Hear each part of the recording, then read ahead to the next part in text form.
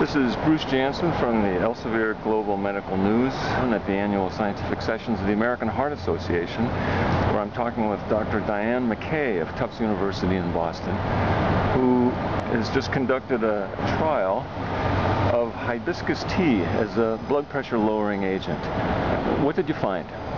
Well, we found that uh, our subjects who consumed three cups of hibiscus tea every day for six weeks actually had a um, lower blood pressure after that period of time. How much lower?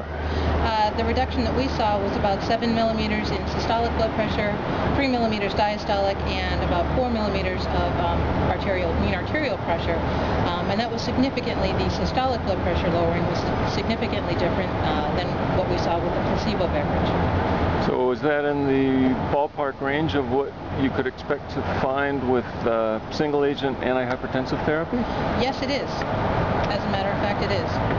But what are the public health implications of that?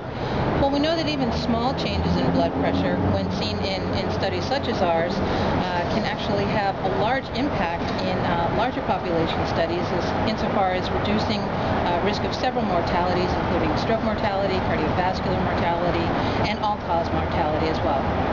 Uh, what are your thoughts about the mechanism of benefit? Well, we still need to, to determine uh, the exact mechanism. We do have some evidence from other studies that the antioxidant phytochemicals that are present in hibiscus tea um, do have ACE inhibitor activity, and they also work as a uh, natriuretic. Any adverse effects from drinking three cups a day of that delicious beverage? Our subjects found, uh, we found no adverse effects with our subjects, and in fact, um, hibiscus tea is actually consumed uh, worldwide. Um, it goes by a number of different names, and in Nigeria, the per capita consumption is the equivalent of 25 cups of hibiscus tea uh, daily, and there have been no reports of toxicity.